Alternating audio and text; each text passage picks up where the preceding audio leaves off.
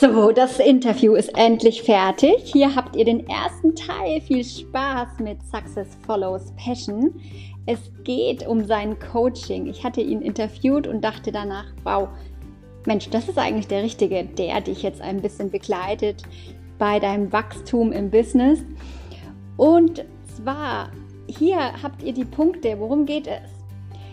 Warum ist es so wichtig zuzuhören? Warum ist es wichtig, auch mal strukturelle Ansichten zu stören? Ganz spannend, die Ansichten von Fabian. Warum ihr euch Zeit, Geld und Fehler erspart. Und erfahrt auch, warum die falsche Kugelschreiberfarbe schon mal die falsche sein kann. Viel Spaß jetzt beim ersten Teil des Interviews.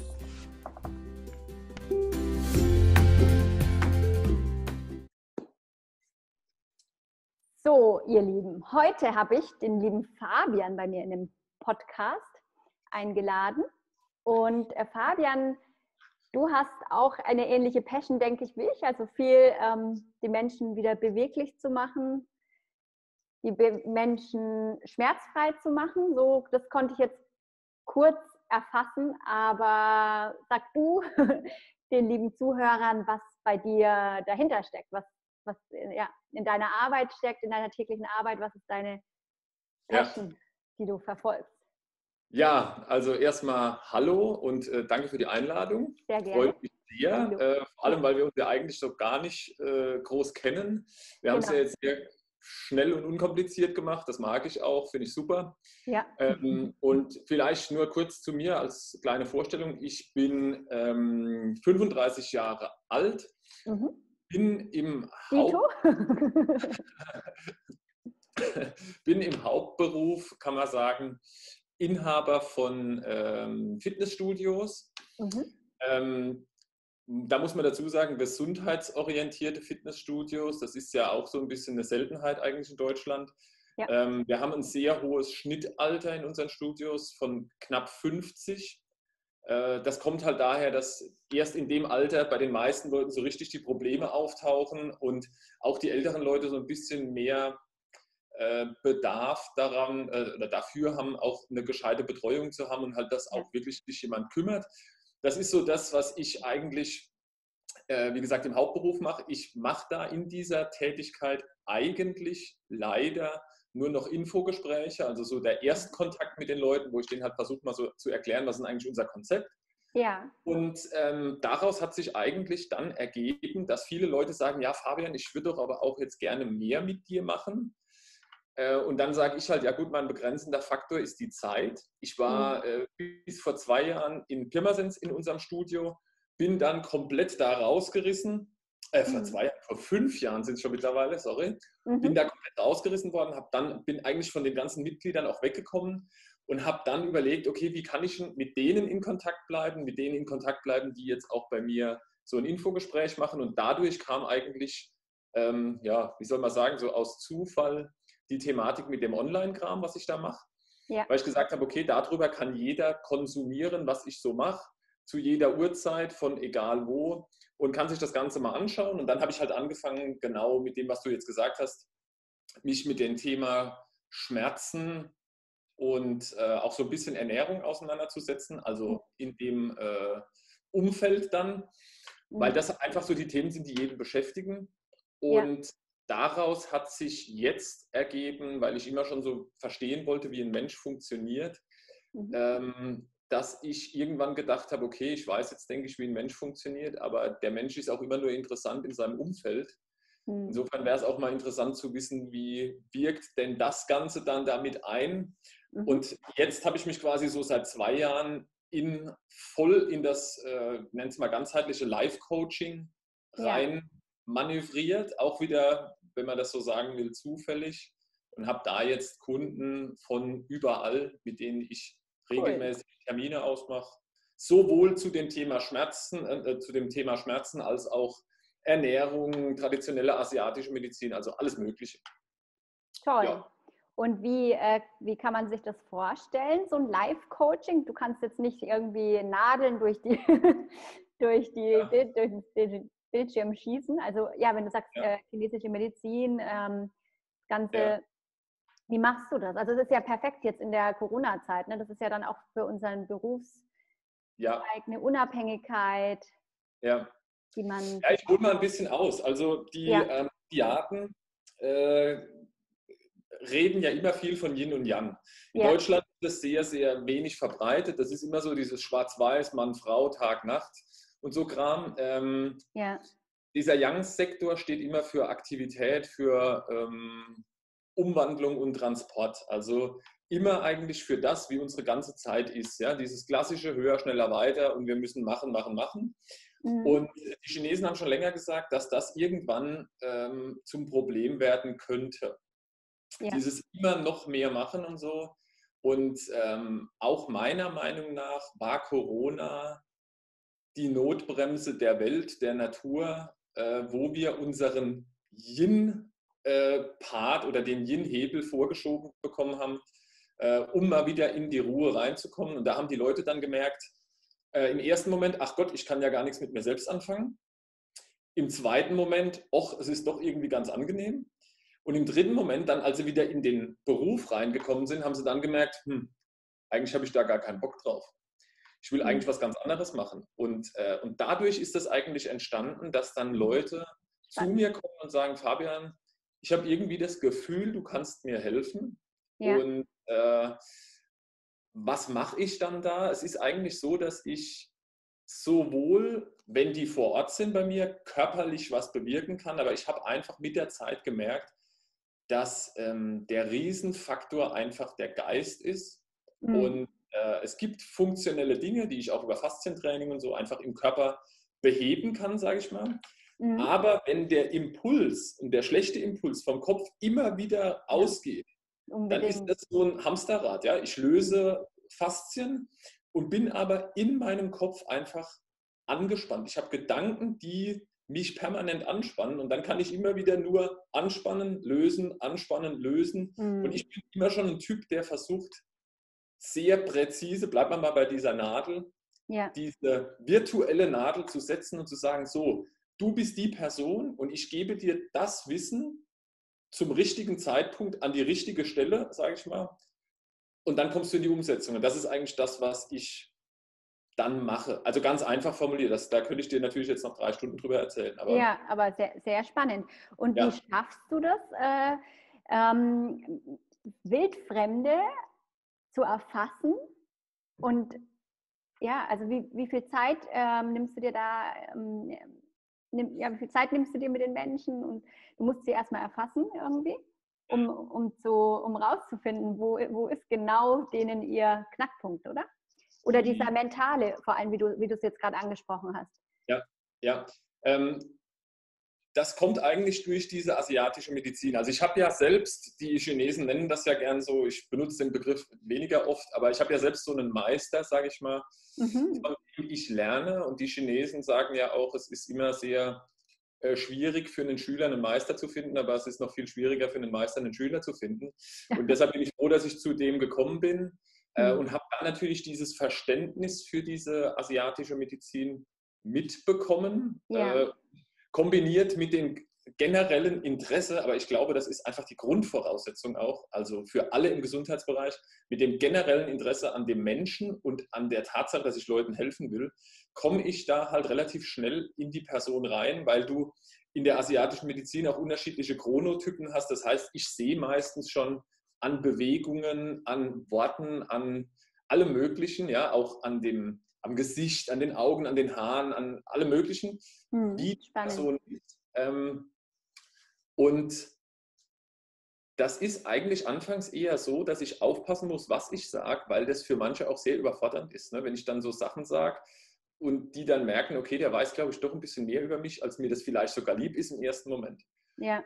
Aber so muss ich sagen, ja, dieses einfach Zuhören ist, so, ist auch so ein Thema. Ja? Also mal hinschauen, wer sitzt denn da und ähm, was erzählt der mir denn? Und nicht immer nur so dieses Hören, was der sagt, sondern halt wirklich auch mal zuhören und sagen und da zwischen den Zeilen lesen und sagen, okay, was, was, was will der mir denn da eigentlich mit sagen? Ja, das ist ja dann oft so ein bisschen ein versteckter Hilferuf, wo die Leute sagen, ich, die sind ja nicht umsonst bei mir, ja, die sitzen ja nicht da, weil sie gerade nichts anderes zu tun haben, sondern die haben halt ein Problem und das wollen sie beheben.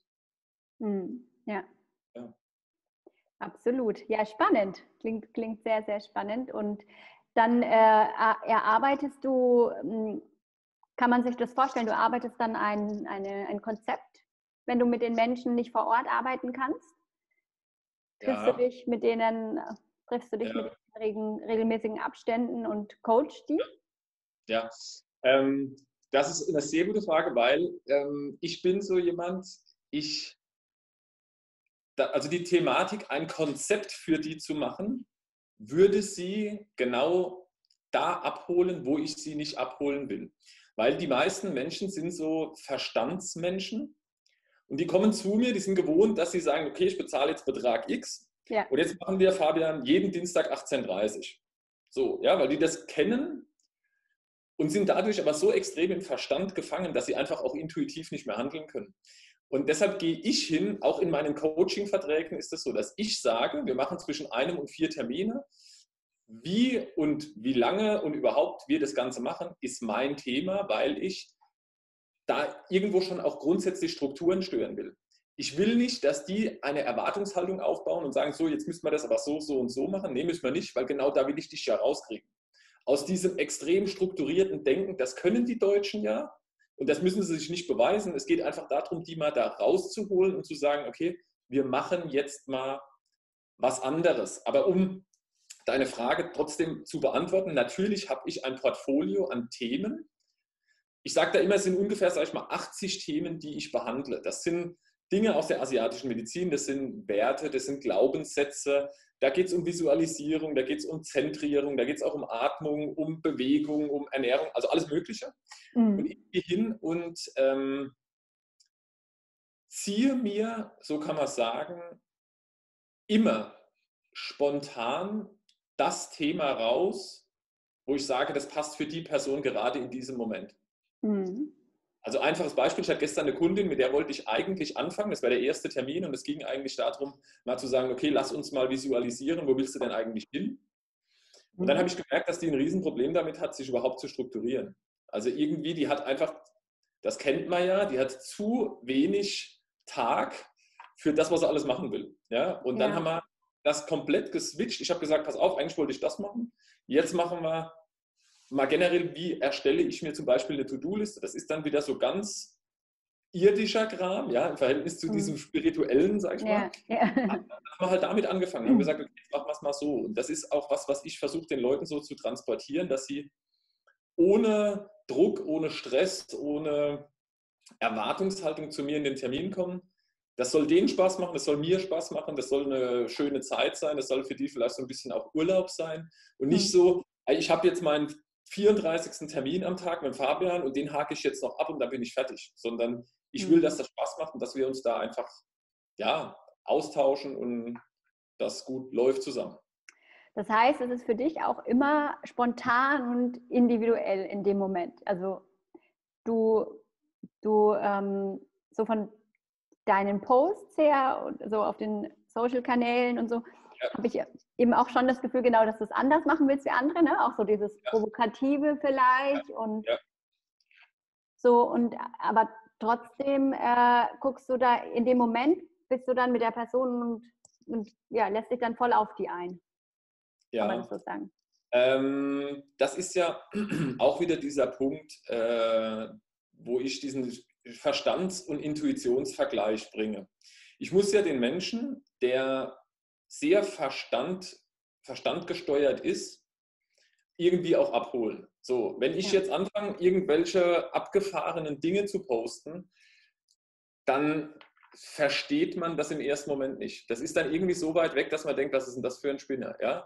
Ähm, und deshalb mache ich das genauso, dass ich da schon irgendwo zwei Welten habe. Meine Posts sind auch ausgelegt auf Rücken, auf Ernährung, auf alles Mögliche. Die gehen nie so in die Tiefe, weil auch nicht jeder das genauso haben will. Ja. Und ähm, da hole ich aber die Leute da ab, wo das Problem ist. Also ich mache den ganzen Kram ja jetzt schon seit 15 Jahren. Das heißt, ich weiß, was Menschen auch für Probleme haben, was die äh, so für Fragen haben. Und diese Fragen versuche ich im ersten Moment auf der obersten Ebene abzuholen. Das heißt, ich, ich beantworte denen das, was sie gerne wissen würden. Mhm. Die meisten Sachen, die sie gerne wissen würden, wissen sie noch gar nicht, dass sie sie gerne wissen würden. ja, so blöd formuliert. Das ist einfach, äh, ich will ja mit denen an den Kern irgendwann und dafür muss ich aber ja oben so ein bisschen selektieren. Manch einer sagt, oh, interessant, super, da kriege ich drei Rückenübungen, die sind für mich toll und die mache ich. Und ein anderer sagt, die Rückenübungen sind zwar super, aber irgendwie der Rest interessiert mich schon auch. Und so kommen die dann halt immer ein bisschen weiter zu dem Kern und sagen dann irgendwann, hey Fabian, lass uns doch mal da zusammenarbeiten. Mhm.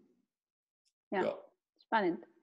Und wie bist du, Fabian, dazu gekommen? Also was hat dich da hingeführt und hast du sowas, so eine Gabe irgendwie in der Kindheit schon bemerkt oder in, in der Jugend oder die Leute zu erfassen. Es ist ja eine Gabe, würde ich sagen. Du, hast ja jetzt nicht alle Berufe, du hast jetzt nicht Psychologen, Psychotherapie-Ausbildung und da wagt ja. man sich ja auch ganz schön vor, oder? Ähm, das ist eine interessante Frage. Also natürlich irgendwann habe ich mich mal gefragt, was kann ich denn besser als alle anderen? Mhm. Und dann habe ich überlegt. Das ist ja eigentlich so das Problem oftmals. Dann überlegt man mal so, was kann ich denn tatsächlich besser als alle anderen? Und ich habe immer schon gemerkt, dass ich eigentlich Leute ganz gut von meiner Meinung, ich will nicht sagen überzeugen kann, aber meine Meinung rüberbringen kann und mhm. sie dadurch in Umsetzung bekomme. So, und dadurch kam das eigentlich, muss ich sagen, dann zustande, dass, ja, dass sich das so ergeben hat. Also ich bin ja der Meinung, äh, das ist jetzt für manchen fremd, für manchen sowas, was er schon mal gehört hat, aber ich bin der Meinung, es gibt keine Zufälle. Also ein Zufall ist für mich immer nur eine Wirkung, deren Ursache ich nicht kenne. Mhm. So, und ich habe für mich irgendwann diese, diese Ursache gesetzt, dass ich sage, okay, ich habe mein Fernziel, wo will ich jetzt in fünf Jahren stehen? Das habe ich mir vor fünf Jahren überlegt. Ähm, und ja, dann kann man sagen, zufällig entwickelt sich das jetzt auch genau dahin. Oder man kann sagen, nee, es ist ja genau das, was ich eigentlich machen wollte. Ne? Mhm. Ja, ein bisschen schwer, schwer, das konkret zu sagen, weil alles, wenn ich jetzt sage, äh, was weiß ich,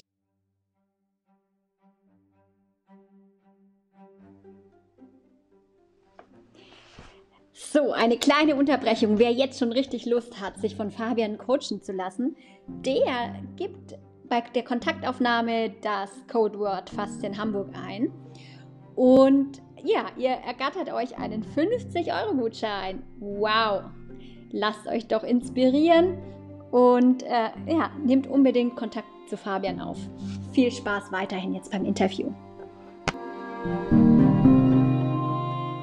Ich, ich kann das und kann das, das hört sich immer so geschwollen an, das ist Blödsinn ich glaube nicht, dass jetzt ich ein, ein, Physio, äh, ein Physio, sage ich, ein Psychotherapeut oder sonst was sein muss, um Leuten zu helfen. Ähm, das ist ja in der Medizin auch so. Viele Leute sagen da ja, wer hilft, hat Recht. Ja. Und äh, insofern brauche ich nicht irgendeinen Titel und sonst was. Ja? Ich habe jetzt mhm. am Sonntag zum Beispiel auch einen Workshop zum Thema Easy Living. Und in Deutschland ist es ja so, dass du dann am Anfang immer erstmal, wenn du eine Präsentation machst, dann musst du dich erstmal selbst beweihräuchern und sagen, was du alles kannst. So, ich bin der und der, ich habe das alles Tolles gelernt, ich mache das und so, damit dir überhaupt irgendeiner mal was glaubt. Ja? Und ich sage bei meinem Workshop eigentlich nur meinen Namen und mhm. sage auch drunter, steht es direkt in der Zeile, bitte tu mir einen Gefallen und glaub mir kein Wort. Aber gib mir die Chance, deine Gedanken so ein bisschen zu verändern. Ja? Lass nicht das Ego dazwischen reinhauen, sondern gib mir einfach die Chance, dass du da was für dich mitnimmst. Mhm. Und dann kannst du hinterher sagen, war gut oder war schlecht. Und so, genau, ja. Das ist so ein bisschen das Problem, die Deutschen wollen immer irgendwie eine Qualifikation. Ja, was hast du eigentlich gelernt? Darf ja? ich kurz, äh, Fabian, dazwischen äh, mal fragen, warst ja. du länger im Ausland? Wenn du das so betonst, immer mit also ich weiß, ich gebe dir da recht, ich bin auch nicht so eine typisch Deutsche, ich habe iranische Wurzeln, aber ja. ähm, warst du länger irgendwie im Asia, Asia, Asienraum? Nee, nee, nee, es geht darum, äh, also auch ein Thema in meinem, in meinem Workshop, dieses, um diese Matrix, um die uns bestimmende Matrix, mhm. die uns sagt, wie wir zu sein haben. Da geht es nicht um Deutschland, aber ich sage immer wieder Deutschland, weil das ist ja das, was wir kennen. Ja? ja. In Deutschland ist es so, ähm, du hast gefälligst morgens um sechs aufzustehen. Wenn du um acht aufstehst, dann bist du schon ein Faulenzer. So, dann musst du natürlich immer morgens frühstücken, weil wenn du nichts gefrühstückt hast, dann bist du nicht leistungsfähig. Ja. Um halb zehn musst du einen Knoppers essen, weil das haben wir so gelernt. Um zwölf ist Mittagspause, da wird was gegessen, ob du Hunger hast oder nicht. Ja. Und, ja, und dann sonntagsabends um Viertel nach acht kommt Tatort. Und ich will die Leute einfach dafür sensibilisieren, zu sagen, okay, das ist meine Matrix, die erkenne ich gerade, mhm. aber ist das auch das, was ich gerne hätte? Ja. ja will ich das oder will ich es nicht? Und wenn ich es nicht will, wie kann ich es denn verändern? Dazu mhm. gehört natürlich immer so ein bisschen auch ein Mut, weil dann heißt es ja wieder, ja, was sollen die Leute von mir denken? Ja. Ähm, und da bringe ich immer dieses Beispiel von dem Freitag. Also ich arbeite jetzt seit 15 Jahren in der Fitnessbranche mhm. und ähm, toi, toi, toi. habe ja. niemals fest freitags gearbeitet. Weil ich immer gesagt habe, Freitag heißt nicht umsonst Freitag. So, und jetzt. Ähm, und das in Deutschland gibt es in anderen. Genau, das habe ich, hab ich durchgezogen. Und jetzt diese Termine, wenn wir jetzt telefonieren oder äh, ein Zoom-Meeting machen, dann mhm. mache ich das sehr, sehr bewusst, weil ich einfach auch Spaß dran habe und äh, mhm. das jetzt einfach machen wollte. Ja? Und ja. andere Termine, wenn ich sage, nee, ich, freitags ist für mich Freitag, dann, dann mache ich vielleicht morgens einen Termin oder mache gar keinen Termin und dann, ich meine, ich habe jetzt am Sonntag auch wieder einen Workshop, ja, das heißt, da arbeite ich ja auch, es ist ja nicht so, dass ich da nichts mache, ja. aber ähm, ja, das hat sich so eingebürgert. Und dann, wie gesagt, dann kann man sagen, ja, der Typ spinnt, das funktioniert nicht. Und das ist halt so diese sich selbst erfüllende Prophezeiung. Wenn ich sage, das klappt nicht, dann klappt es halt auch nicht. Ne? Mhm. Und äh, ich nehme mal an, du hast da auch, du hast ja vorhin von einem Meister gesprochen. Äh, hast du hast da auch, sage ich mal, um diese Persönlichkeit zu erlangen, was du jetzt bist oder was du so was, was du so aus dir machst und immer mehr die ähm, ja, neue Erfahrungen, die dann auch dazukommen, äh, dass du da regelmäßig irgendwie so Mentoring oder Coaching so für dich persönlich auch machst? Auf jeden Fall. Ähm, das ist auch was, wenn ich, wenn ich das irgendjemandem oder wenn ich jemandem einen Tipp geben kann, äh, würde ich immer dazu raten, sich jemanden zu suchen, der in irgendeinem Bereich, in dem er gerne erfolgreich wäre, und das ist, ich meine erfolgreich nicht im Sinne von, ich muss viel Geld haben, sondern es kann ja auch eine glückliche Beziehung sein oder sonst irgendwas, ähm, dass man sich da jemanden sucht, der schon da ist, wo man gerne hin würde. Und ich sage das auch immer meinen Coaching-Teilnehmern, das, das, was ihr bei mir spart, ist äh, Zeit, Geld und Fehler. Ja, ähm, weil, ich meine, du wirst es wahrscheinlich kennen, bei mir ist es auch so, ich habe jetzt, ich beschäftige mich jetzt seit 15 Jahren mit dem Thema. Ich weiß nicht, wie viele Bücher ich gelesen habe, wie viele Workshops ich gemacht habe, wie viele Gespräche ich geführt habe, ja. Und ich wäre im Nachgang froh gewesen, wenn ich irgendwie einen gehabt hätte, der mir gesagt hätte, Fabian, pass mal auf, mach's doch so und so. Ob ja. ich dann so schlau gewesen wäre, um das anzunehmen, ohne dann nochmal zu hinterfragen, ist nochmal ein anderes Thema. Aber ja. ähm, definitiv würde ich das jedem empfehlen. Und dann sagen die Leute halt, ja, warum spare ich da jetzt äh, Geld? Ich gebe doch Geld dafür aus. Mhm. Aber das ist auch eine Erfahrung aus meinen Coachings. Jeder holt im Nachgang ein Vielfaches davon wieder raus, von dem, was er investiert hat. Immer. Und das ist sowas, wo ich dann sage, also ich kann auch gar nicht sagen, wie viele tausende Euro ich schon investiert habe in irgendwelche Bücher. Man sieht das jetzt nicht, weil meine Bücher auf der anderen Seite des Büros stehen, aber ähm, wie gesagt, Workshops, Wochenendseminare, was weiß ich was. Und äh, ich finde auch, das ist auch sowas, was man sich beibehalten sollte. Ja? Ich glaube, das Problem fängt dann an, wenn du denkst, irgendwie alles zu wissen. Ja. Dann also fängt es an, irgendwie problematisch zu werden. Stimmt. Dann hebt man dann so ein bisschen, schwebt man schon. Ja. ja. Man ist halt nicht mehr in dem Wachstum. Das ist halt der Punkt. Ich habe in meinem Workshop sage ich auch immer wieder, äh, wir haben als Menschen zwei Zustände. Mhm. Also generell in der Natur zwei Zustände, auch in, bei Pflanzen so. Entweder es wächst oder es ist tot. Mhm. Ja, und in dem Moment, wo ich aufhöre zu wachsen, bin ich tot. Mhm. Ja. Und äh, könntest du jetzt aus dem Stegreif sagen, der Mentor oder also gibt es da jemanden Bekanntes irgendwie aus der Persönlichkeitsentwicklungsszene, wo du auch irgendwie mal gebucht hast, gecoacht, dich gecoacht hast? Schwer zu sagen. Also ähm, das hat sich alles gewandelt. Am Anfang war ich so dieser Typ, der auf dem Young-Sektor äh, da geritten ist und gesagt hat, oh, diese ganzen Motivationscoaches, das ist eine super Sache, ja. Und dann mhm. äh, habe ich da alles Mögliche gemacht. Ich war bei Dirk Kräuter, bei Christian Bischof, also bei den ganzen Deutschen, also ja. bei allen. Ja. ja? Mhm. Irgendwann habe ich dann gemerkt, nee, das ist es nicht. Also das ist nicht mein Problem. Der Typ, also mit diesem chinesischen Hintergrundwissen, der Typ Mensch, der ich bin, der braucht keine Motivation, der ist motiviert. Ja? Der braucht eine Erdung, der braucht ähm, einen Rückhalt, sodass er oben ein bisschen turnen kann und unten gehalten ist. Und äh, dann habe ich da komplett umgeswitcht und hab, bin dann in die andere Richtung. Und ja, we, wen könnte man da erwähnen? Da muss ich echt überlegen. Äh, wen ich gerne dieses Jahr gesehen hätte, wäre Tony Robbins gewesen. Der wäre nach mhm. Birmingham gekommen im, im Mai. Ich bin, der, ich bin der Meinung, dass der der Vorreiter von allen jetzt in Deutschland ist. Irgendwie alle erzählen sie das, was der erzählt, ja, in mhm. abgewandelter Form. Mhm. Und ähm, das ist ja auch Hammer, ne? wenn man mal seine Show gesehen hat, irgendwelche Aufzeichnungen oder den Film da über ihn. Äh, ja, ja, ja. Wie der da in der kurzen, also auch wie der da in, den, in der Zeit äh, die Leute erfasst. Schon eine, schon eine Gabe, würde ich sagen. Also, und, das ist genau aber der Punkt. Das ist, es ist nicht, der ist nicht so dieser, ich muss immer mit Zwang und Gas geben und was weiß ich was, sondern der merkt, wie ist der Mensch und holt den Mensch da ab, wo er steht und sagt nicht, du musst dir vorstellen, es gibt ja Leute, die sind so, ähm, die Chinesen sagen so Nilpferde, ja, die sind einfach so lethargisch, kann man sagen. Die haben überhaupt auf gar nichts Bock. Ja. Die wirst du nur über so ein Motivationscoaching nicht abholen. Die sagen dann, ja, schön, dass der da jetzt rumturnt, und, äh, aber das hat auch mit mir nichts zu tun. Und, mhm. und so gibt es halt einfach so viele unterschiedliche Leute. Das ist einfach das Thema. Viele haben ihre, ihre feste Strukturen, da sind wir wieder bei dem Thema, ja, ähm, wo die sagen, so läuft's, ja. Und der Mensch, der hat sich gefälligst da auf die Gleise zu, zu setzen und mit der Schiene zu fahren. Aber es ist einfach anders. Das ist, jeder Mensch ist unterschiedlich und mhm. es gibt nicht dieses äh, Allheilmittel. Ja? Und, und das ist so, ja, deshalb fällt es mir auch schwer, jetzt irgendeinen zu sagen, wo ich sage, das, der, der ist es. Ne? Äh, kennst, kennst du Bruce, Lim, Bruce Lipton? Sagt dir Bruce Lipton was? Hat, sag mir mal ein Buch, Natürliche, die, ähm, äh, Intelligenz, also über die natürliche Intelligenz heißt, glaube ich, ein Buch. Und ja, also geht es halt eben darum, über die Epigenetik, eben auch äh, das, was du bist, bist du eigentlich nicht. Es ist dein, wenn dein Geist kann deine DNA verändern, so.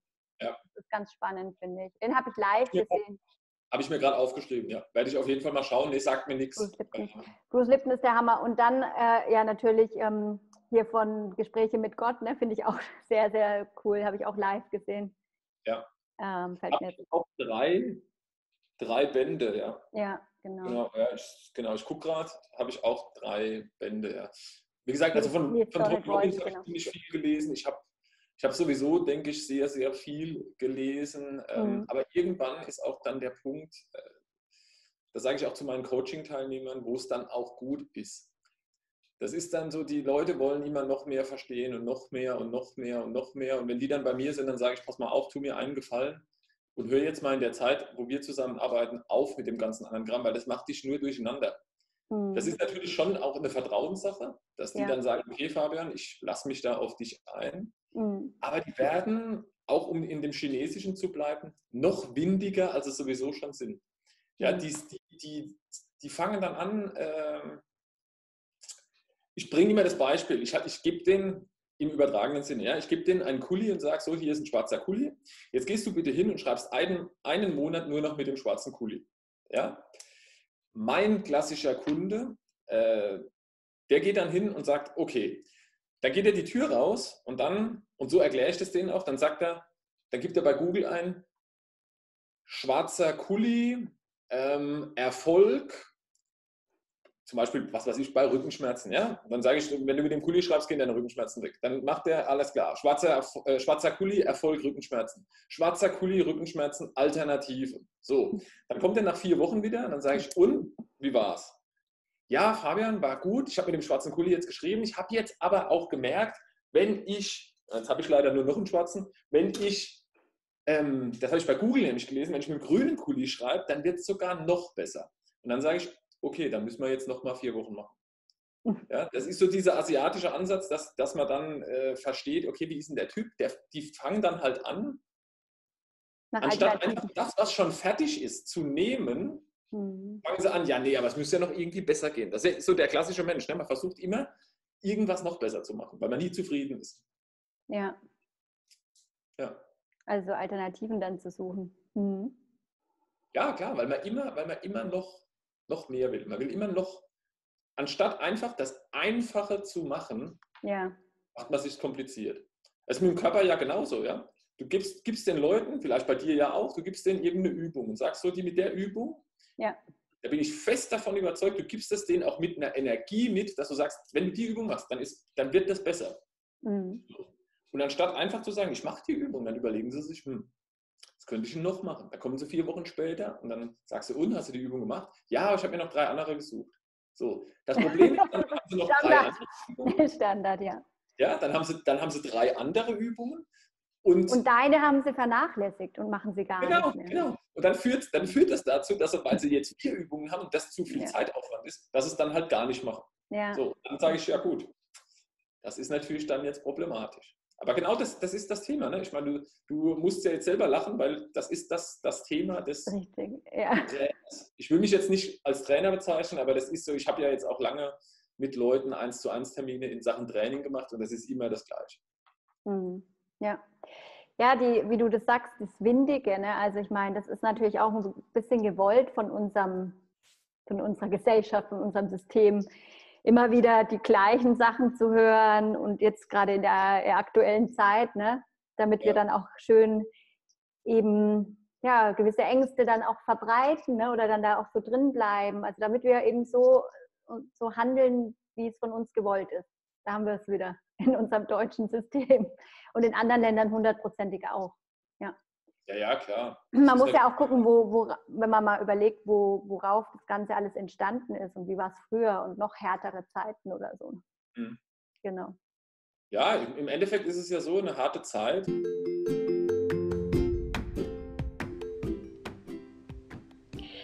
Wow, was wir jetzt schon erfahren haben hier im ersten Teil unseres Interviews.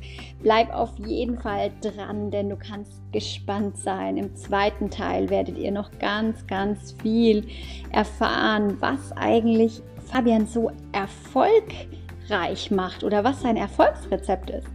Ja, lest dazu einfach den Text, worum es geht und ich freue mich wie immer dann über unter den Post auf Instagram Nasrin Schneider euer Kommentar zu lesen und danke auch für die Bewertung.